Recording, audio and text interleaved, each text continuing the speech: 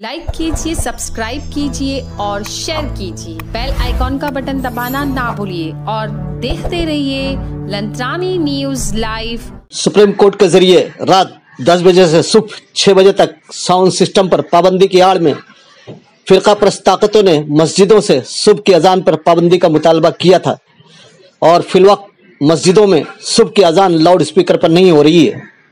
इस बात को पेश नज़र रखकर मुंबई की जामा मस्जिद के जिम्मेदारान ने अल्फला नामी एक अजान ऐप जारी किया है, जिसे उन्होंने महाराष्ट्र कॉलेज के आईटी डिपार्टमेंट के तलबा की मदद से तैयार किया।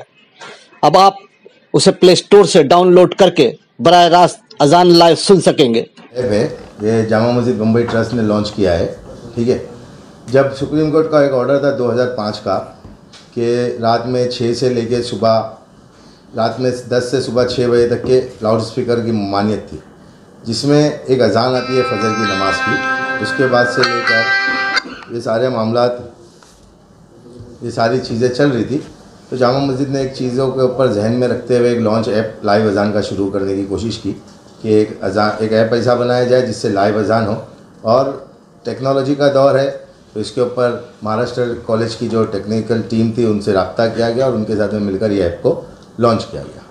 तो इसमें तो इसके अंदर है ना अजान का एक ऑप्शन दिया हुआ है। जैसे ही हम इसको खोलते हैं ओपन करते हैं जब अजान का टाइम रहेगा तो उस टाइम पे ये ओपन हो जाएगा। अब ये रेड कलर का है। जैसे ही अजान का टाइम होगा वो लाइव अजान आएँगी। जुमा मस्जिद की जो लाइव अजान है वो ग्रीन हो जाएगा। और सिर्फ़ अजान के वक्त ही ये ऐप का ये ऑप्शन ओपन होगा। उसके बाद में दूसरे फीचर्स भी है। बाकायदा नमाज़ टाइमिंग है कुछ मैसेजेस वगैरह जैसे जामा मस्जिद जो है वो चाँद के ऐलान करती है हर महीने में।